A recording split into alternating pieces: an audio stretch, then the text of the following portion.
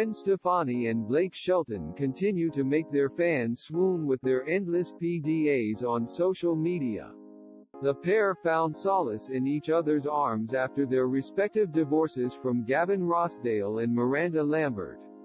Despite the endless controversies and malicious rumors hounding their relationship, Gwen and Blake have remained strong and very much in love with each other until now.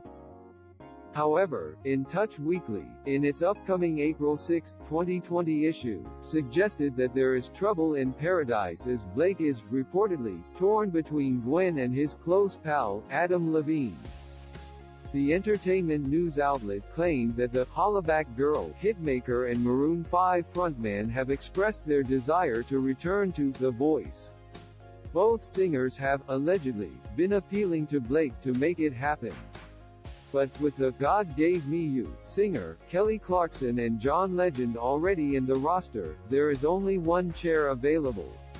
This, according to the report, is where the problem started. Blake isn't in charge of casting, but he is the last man standing from the original coaches, so NBC listens to him.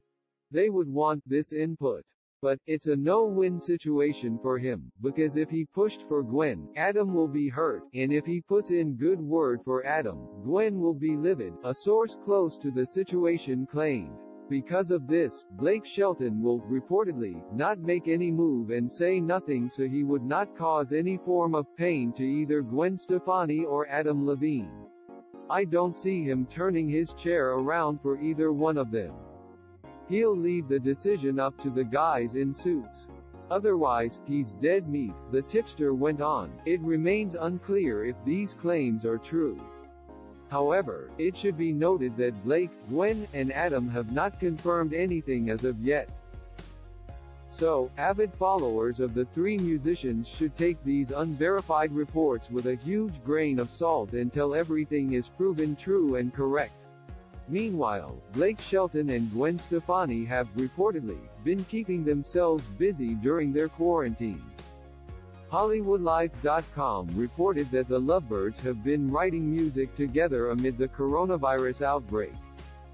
An informant shared that the pair has not been discussing engagement or wedding as they do not want to put much stress on each other.